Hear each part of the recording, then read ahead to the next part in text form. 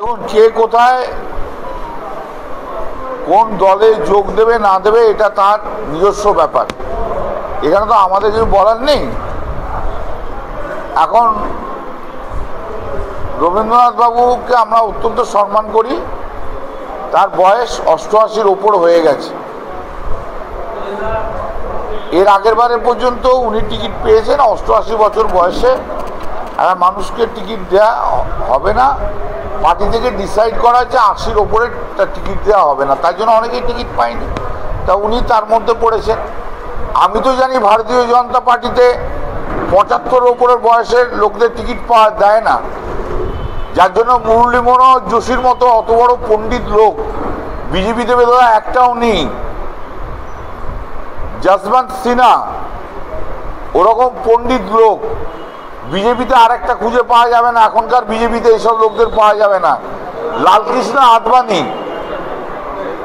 তার মতো মানুষ, ওরকম মানুষ, ওরকম পার্লামেন্টারি ডেমোক্রেসিতে তাদের মতো মানুষ পাওয়া যাবে না। ঠিক আছে? তারাও কিন্তু টিকিট পায়নি।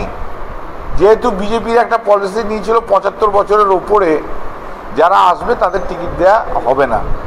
তো আশি বছরে আমাদের ডিসাইড করে যে তার উপর টিকিট দেওয়া হবে না দেওয়া হয়নি। এইবারে যদি ভারতীয় জনতা পার্টি রবীনবাবুর জন্য অষ্টআশি আশি বছরের টিকিট দেয় আমাদের সমস্ত শুভকামনা রইল। থ্যাংক ইউ শুনুন বিজেপি অপেক্ষা করছিল দলছুটদের জন্য যার জন্য ক্যান্ডিডেটটা ডিক্লেয়ার করতে পারেনি। যারা যারা টিকিট পায়নি যারা যারা টিকিট না পাবে তারা আবার আমাদের কাছে আসবে।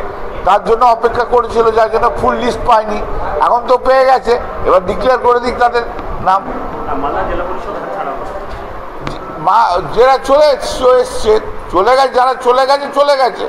বাস্তবকে মেনে নিতে হবে, ঠিক আছে, দেখা যাবে না। আবার দেখবেন কি জানেন তো? দোসরা মেয়ের পরে ওই মালদা জেলা পরিষদে সব আবার তৃণমূল কংগ্রেসে জয়েন করে গেছে। সবুজ তিলক যখন সারা বাংলা মাখবে না, তখন দেখবেন ওরাই আবার জয়েন করে গেছে। চিন্তা করার কি আপনাদের? এটা নিয়ে আপনাদের বেশি টেনশন নেবেন না। একদম টেনশন নেবেন না। এগুলো আমাদের ওপর ছেড়ে দিন। এগুলো টেনশন নেওয়ার নেই। এক মাস কয়েকদিন অপেক্ষা করুন।